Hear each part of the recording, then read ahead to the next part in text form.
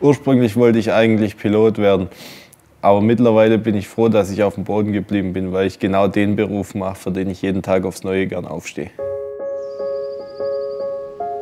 Ich habe mich äh, 2014 dazu entschieden, mich in dem Bereich selbstständig zu machen, weil mir der Beruf einfach unheimlich Freude macht und ich sehr gern selbst auch Verantwortung übernehme. Die Firma Streib wurde 1920 gegründet von meinem Urgroßvater.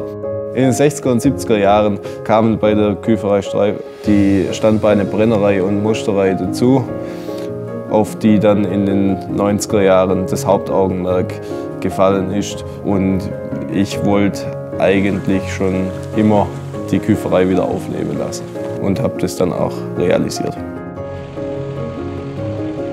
Selbstständig einen Betrieb zu führen erfordert Leidenschaft, erfordert Freude an den Produkten, die man herstellt, erfordert äh, auch die Bereitschaft, mehr zu tun als, als andere Leute. Aber es bringt auch eine große Freiheit mit sich, die man nutzen kann. Jeder Handgriff bei der Herstellung von meinen Holzfässern geschieht durch Überzeugung, was sich in der Qualität von meinen Fässern widerspiegelt. Und das bekomme ich von meiner Kundschaft jeden Tag aufs Neue zu hören, was mich sehr freut.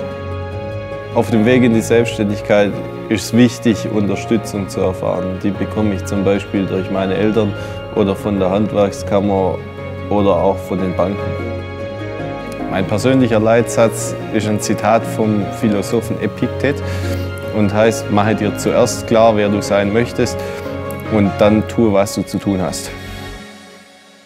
Ich bin Matthias Streib, ich bin Küfer von Beruf und Ihr Keller ist meine Aufgabe.